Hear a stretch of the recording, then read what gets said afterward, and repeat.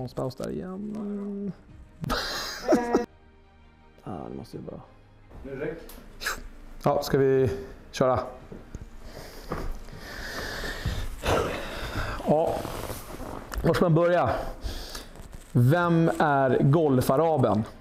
Ja, eh, ni har kommit in på den här kanalen för att ni troligtvis älskar golf.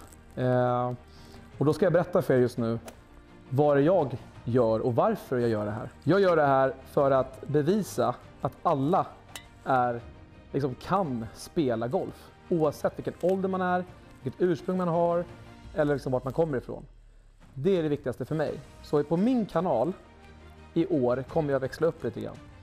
Jag kommer att ha bra kvalitet, det kommer vara bra personer, det kommer vara kända som okända som har den här lilla, lilla extra i personligheten. Så att jag kommer ha matchspel. Det kommer ske, ske kanske lite psykningar, kanske lite kul, lite skratt och alla de här grejerna runt om också.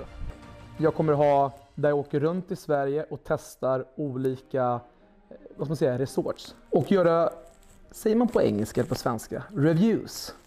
Där jag testar olika golfbanor, golfresorts, hur omklädningsrummen är dit ni ska åka med era vänner, familj. Som här. Här har vi en relaxavdelning, om man plats med skåp eller liknande. Så att ni inte behöver oroa er när ni ungefär ska ja, betala 5-6 tusen för att åka iväg till en golfbana. Då går ni bara in på den här kanalen för att kunna se hur det ser ut här. Mitt mål med den här kanalen det är att jag vill bli den största inom golf i Sverige. Och jag vill också hoppas att ni som tittar på den här videon, Eh, ni som trycker in på den här kanalen vill vara en del av den.